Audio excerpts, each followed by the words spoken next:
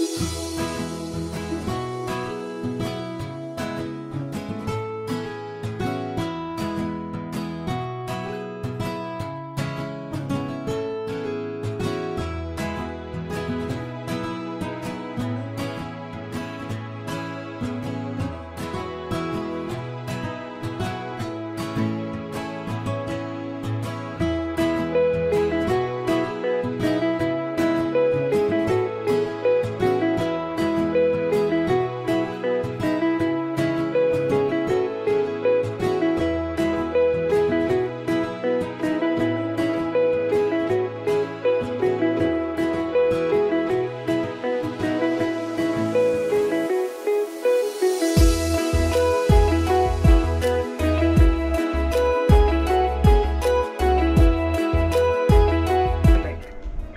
today, consults me even on business matters.